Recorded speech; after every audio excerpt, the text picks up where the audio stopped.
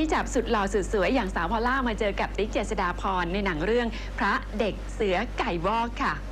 แค่รู้ว่าพระเอกติ๊กเจษฎาพรจะมาประกบสาวพอลล่าบรรดาแฟนคลับของทั้งคู่ก็ตั้งตารอดูแล้วนะคะ ในหนังเรื่องใหม่แนว action comedy เรื่องพระเด็กเสือไก่วอกของพระนครฟิล์ม ที่ได้อาบัณฑิต ฤทธิ์ถกลกำกับ จะเปิดกล้องต้นเดือนหน้า แต่ว่าเริ่มถ่ายโปสเตอร์โปรโมทกันก่อนเมื่อเช้านี้เอง แต่งองค์ทรงเครื่องครบเซตโดยในติ๊กรับบทหนุ่มพเนจรยอดฝีมือแถมยังขี้เมาอีกต่างหาก ส่วนสาวพอลล่าเรื่องนี้ได้บู๊กระจายนะคะ รวมด้วยโน้ตเชิญยิ้มและนักแสดงอีกเพียบค่ะพระเด็กเสือไก่วอกเนี่ยคือยอดฝีมือ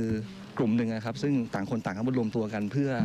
เพื่อจะทำอะไรบางอย่างที่จะไปเอ่อเป็นการช่วยเหลือ บูมากค่ะ เปลี่ยนมาก ๆ เลยค่ะ แต่ละคนจะมีอาวุธประจำกายใช่พอว่ามีปืนแล้วมีวิปอะไรเงี้ย วิปภาษาไทยคืออะไรเออแส้ครับใช่ไหม แซมีแส้ค่ะ แต่เหตุผลหลักที่รับเล่นเนี่ยหนุ่มติ๊กสารภาพว่าเพราะสาวพอลล่านี่แหละค่ะ ตอนแรกผมยังไม่ทราบเลยครับว่าว่าเป็นพอลล่าพอมาอีกสักสองวัน ทราบว่าเป็นพอลล่าบอกอาครับเมื่อไหร่จะเปิดกล้องครับ ทุกคนนะไม่รู้ว่าสาวทุกคนเขาก็อยากเล่นกับพี่ติ๊กก็รู้สึก happy ที่เราแบบได้มาเล่นกับเขาอะค่ะ